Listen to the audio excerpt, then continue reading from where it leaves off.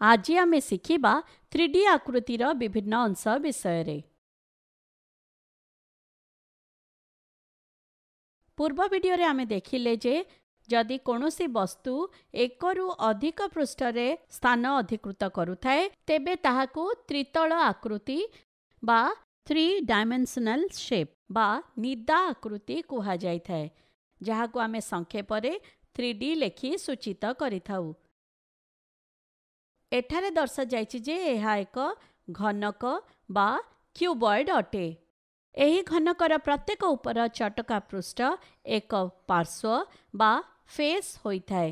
ଏହିପରି ଏକ ଘନବସ୍ତୁର ଛଅଟି ପାର୍ଶ୍ୱ ରହିଥାଏ।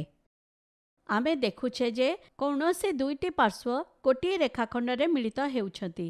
ତ୍ରିତଳ ଆକାରର କୌଣସି ଦୁଇଟି ପାର୍ଶ୍ୱ ଯାହା ରେଖାଖଣ୍ଡରେ ମିଳିତ ହେଉଥାଏ ତାହାକୁ ତ୍ରିତଳ ଆକୃତିର ଧାର ବା ଏଜ୍ କୁହାଯାଇଥାଏ। ଏଠାରେ ଏହି ଘନବସ୍ତୁର ମୋଟ ବାରଟି ଧାର ରହିଛି। ଆମେ ଏହା ମଧ୍ୟ ଦେଖୁଛେ ଯେ ଏହି ତ୍ରିତଳ ଆକୃତିର କୌଣସି ତିନୋଟି ଧାର ଗୋଟିଏ ବିନ୍ଦୁରେ ମିଳିତ ହୋଇଥାନ୍ତି। ଏହି ବିନ୍ଦୁକୁ ଆମେ ତ୍ରିତଳ ଆକୃତିର ଶୀର୍ଷ ବା ଭର୍ଟେକ୍ସ କହିଥାଉ। ଘନକରେ ଆମେ ଦେଖୁଛେ ଯେ ମୋଟ ଆଠଟି ଶୀର୍ଷ ରହିଛି। ଏହି ଘନକ ଏପରି ଏକ ଘନ ବସ୍ତୁ ବା କ୍ୟୁବ୍ ଯେଉଁଥିରେ ଛଅଟି ପାର୍ଶ୍ୱ ବାରଟି ଧାର ଆଉ ଆଠଟି ଶୀର୍ଷ ରହିଛି। ଏବେ ତୁମେ କହିପାରିବ କି ଦର୍ଶାଯାଇଥିବା ତ୍ରିଭୁଜାକାର ପ୍ରିଜମ୍ ବା ଟ୍ରାଇଆଙ୍ଗୁଲାର ପ୍ରିଜମ୍ର ପାର୍ଶ୍ୱ ଧାର ତଥା ଶୀର୍ଷ ସଂଖ୍ୟା କ'ଣ ରହିଛି? ଚିନ୍ତା କର ଚିନ୍ତା କର। ଆସ ଏହାକୁ ଗଣନା କରିବା। ତ୍ରିଭୁଜାକାର ପ୍ରିଜମ୍ରେ ପାର୍ଶ୍ୱ ହେଉଛି ଏକ ଦୁଇ ତିନି ଚାରି ଏବଂ ପାଞ୍ଚ। ଅର୍ଥାତ୍ ମୋଟ ପାଞ୍ଚଟି ପାର୍ଶ୍ୱ ରହିଛି। ତ୍ରିଭୁଜାକାର ପ୍ରିଜମ୍ରେ ଧାର ହେଉଛି ଏକ ଦୁଇ ତିନି ଚାରି ପାଞ୍ଚ ଛଅ ସାତ ଆଠ ଏବଂ ନଅ। ଅର୍ଥାତ୍ ମୋଟ ନଅଟି ଧାର ରହିଛି। ତ୍ରିଭୁଜାକାର ପ୍ରିଜମ୍ରେ ଶୀର୍ଷ ହେଉଛି ଏକ ଦୁଇ ତିନି ଚାରି ପାଞ୍ଚ ଏବଂ ଛଅ। ଅର୍ଥାତ୍ ମୋଟ ଛଅଟି ଶୀର୍ଷ ରହିଛି। ଏହିପରି ଭାବରେ ଏହି ବର୍ଗ ପିରାମିଡ଼ରେ ବା ସ୍କୋୟାର ପିରାମିଡ଼ରେ ପାଞ୍ଚଟି ପାର୍ଶ୍ୱ ଆଠଟି ଧାର ଏବଂ ପାଞ୍ଚଟି ଶୀର୍ଷ ରହିଛି।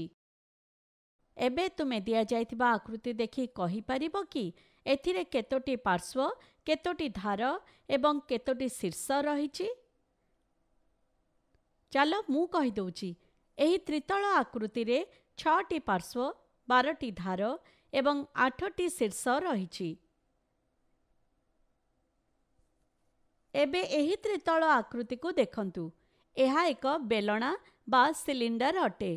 ଏବେ ତୁମେ କହିପାରିବ କି ଏଥିରେ କେତୋଟି ପାର୍ଶ୍ୱ କେତୋଟି ଧାର ଏବଂ କେତୋଟି ଶୀର୍ଷ ରହିଛି? ଚିନ୍ତା କର ଚିନ୍ତା କର ଚାଲ ମୁଁ କହିଦେଉଛି। ବେଲଣାରେ ଦୁଇଟି ବୃତ୍ତାକାର ସମତଳ ପାର୍ଶ୍ୱ ବା ପ୍ଲେନ୍ ସର୍ଫେସ୍ ତଥା ଗୋଟିଏ ବକ୍ର ପାର୍ଶ୍ୱ ବା କର୍ଭ ସର୍ଫେସ୍ ରହିଛି। ଏଥିରେ ଦୁଇଟି ବୃତ୍ତାକାର ଧାର ରହିଛି କିନ୍ତୁ କୌଣସି ଶୀର୍ଷ ନାହିଁ। ତେଣୁ ବେଲଣାରେ ତିନୋଟି ପାର୍ଶ୍ୱ ଦୁଇଟି ଧାର ଏବଂ ଶୂନଟି ଶୀର୍ଷ ରହିଛି। ଏବେ ଆମେ ଗୋଟିଏ କୋନ୍କୁ ଦେଖିବା। ତେବେ ଏଥିରେ ଆମକୁ ଦୁଇଟି ବୃତ୍ତାକାର ସମତଳ ପାର୍ଶ୍ୱ ଏବଂ ଗୋଟିଏ ବୃତ୍ତାକାର ଧାର ବା ଏକ ସର୍କୁଲାର ଏଜ୍ ଦେଖାଯାଉଛି ଏବଂ ତା ସହିତ ଆମକୁ ଗୋଟିଏ ଶୀର୍ଷ ମଧ୍ୟ ଦିଶୁଛି। ଏହିପରି ଭାବରେ ଗୋଟିଏ କୋନ୍ରେ ଦୁଇଟି ପାର୍ଶ୍ୱ ଗୋଟିଏ ଧାର ଏବଂ ଗୋଟିଏ ଶୀର୍ଷ ରହିଥାଏ। ଏବେ ଏହି ତ୍ରିତଳ ଆକୃତିକୁ ଦେଖନ୍ତୁ। ଏହା ଏକ ଗୋଲକ ବା ସ୍ପିୟର ଅଟେ। ଏଥିରେ କୌଣସି ସମତଳ ପାର୍ଶ୍ୱ ଅଛି କି? ଚିନ୍ତା କର ଚିନ୍ତା କର। ନା ଏଥିରେ କେବଳ ଗୋଟିଏ ବକ୍ର ପାର୍ଶ୍ୱ ରହିଛି।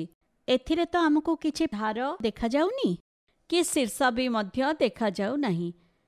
ଏହିପରି ଭାବରେ ଗୋଲକରେ ଗୋଟିଏ ପାର୍ଶ୍ୱ ଶୂନଟି ଧାର ଏବଂ ଶୂନଟି ଶୀର୍ଷ ରହିଥାଏ।